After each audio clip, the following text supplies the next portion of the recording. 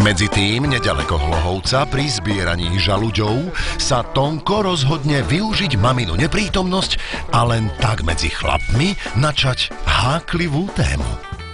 Jak to vlastne v tom živote takto funko, funkuje a podľa tvojho pohľadu, jak to funkovalo u Akťatea?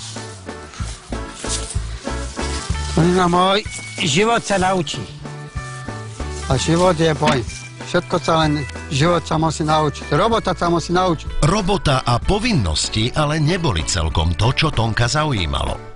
Otec si však včas uvedomí, kam syn svojou otázkou smeroval a vo výchovnom rozhovore s ním zdieľa aj nezabudnutelný zážitok s neznámou ženou, ktorý ho budí zo sna už dobrých 30 rokov. Ja som poznal jednu, tá išla na muziku. Ja sa dívam, preto som išiel reku, čo je tam malo, ale 8 alebo 10 ich bolo okolo nej.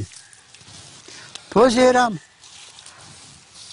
čo idú, čo u nej idú, čo tam budú byť, lebo poviažu, lebo čo to. A jak?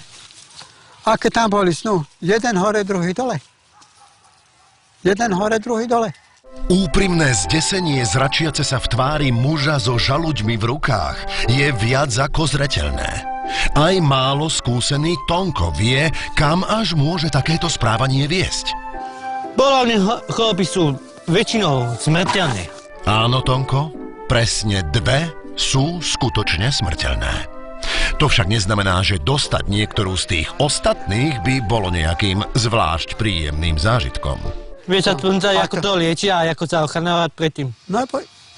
Áno, to lieči sa. Aj to kamarát, to keď ideš do nemocnice, tam ti to všetko zaznamenajú do papierov a ešte aj k tomu aj do občianského preukazu, lebo to. Samozrejme, každý lekár, ktorému sa podarí odstrániť z občianského preukazu laminát, to môže zaznamenať napríklad centrofixov. Existuje však cesta, ako sa týmto krutým, evidenčným praktikám vyhnúť. Jediné, že by si to zabránil, ale aj to si není 100% istý, že či ale s tým oným kombo, kondónom, čo máš, to, to. Bohužiaľ v oblasti používania kombónov má pán Anton napriek zrelému veku len teoretické vedomosti. Ja som ten kondón ani kompletne ani, ani nevidela. Ani neviem ani, kde to dostať kúpiť, ani nič. Ja som to ešte v živote ani v rukách nemal. Z času na čas sa vyskytnú situácie, kedy sa komton počas používania poškodí. Napriek chabým skúsenostiam v tejto oblasti vie pán Anton dramaticky popísať aj takúto eventualitu. Keď to pretrhnú, tak si to môže zdebec, to je ako aj čiapku, a keď si vrch čiapky, tebr si tam dole a natáhnem si čiapku, tak tá čiapka mi natáhne aj, aj na krk. Lebo tam to není na vrchu jezené, není to co ne, ochrana na vrchu, takže to, tú čiapku mi stáhnem až dole.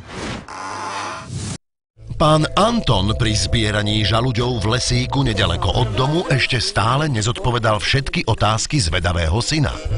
Chlapská debata sa začína uberať skutočne nečakaným smerom.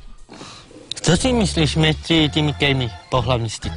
Pre takú nepochopiteľnú vec, ako je pohlavný styk medzi gejmi, nemá pravý dedinský chlap veľa pochopenia. Chlap s chlapom, keď sa zasobáši, tak potom čo robia?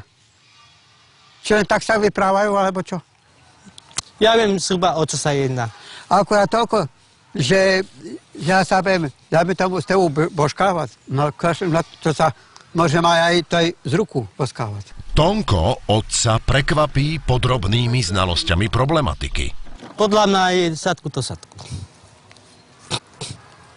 Čo mi aj niekto i- iný, čo som pracoval aj s kejmi, to, čo mi hovorí, to je sadku to sadku. Nič víc, nič míň. Dúfajme, že zo spolupráce s gejmi si Tonko odniesol tieto dôležité poznatky len v teoretickej forme.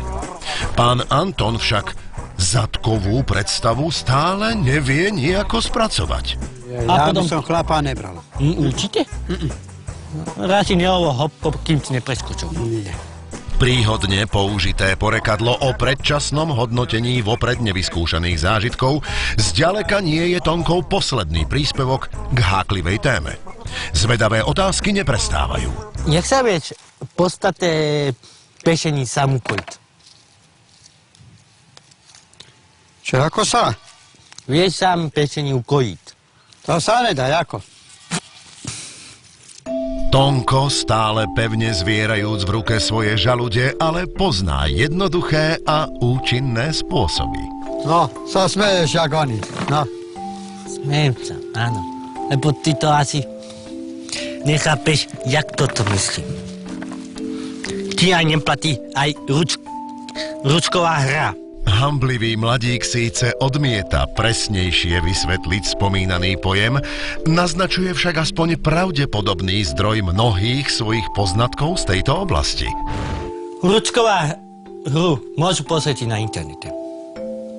A potom na každý jeden vie už, čo to vlastne na, znamená. Pán Anton ale internet nepoužíva, nevie si pozrieť, ako rúčková hra vyzerá a preto by, netušiac bolestivé následky, do spomínaného procesu pribral aj trochu drsnejšie nástroje.